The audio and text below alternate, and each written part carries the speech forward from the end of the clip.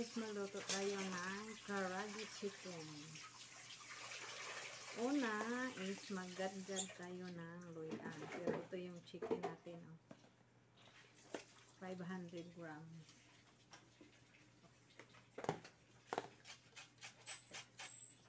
Gadgad ng ginger.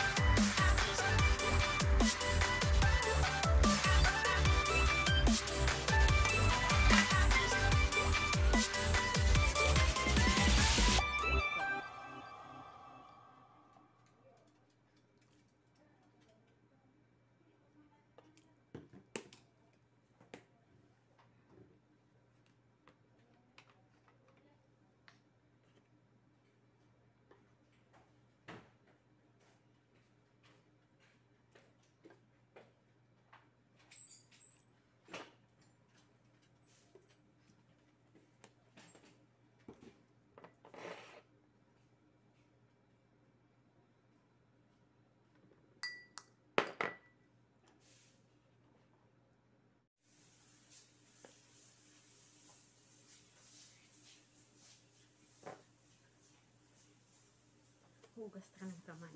Hugas ng kamay. Kita malinis.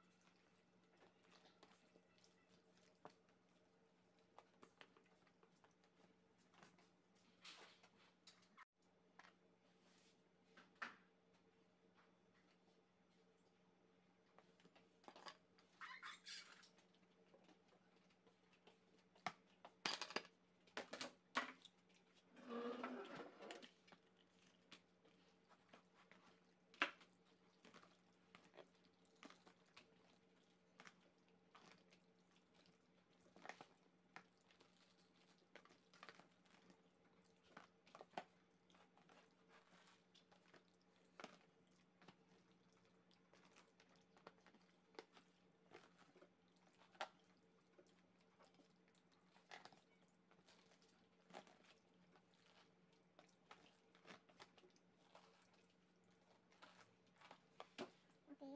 Ilagay natin sa refrigerator ng 1 or 2 2 hours para mag-absorb yung lasa.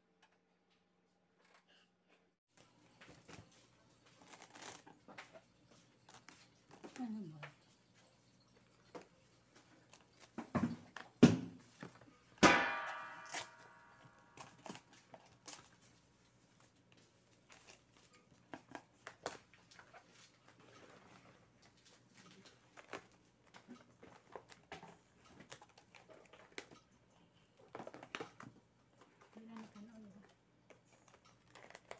Okay, lagay ko muna ito sa ref.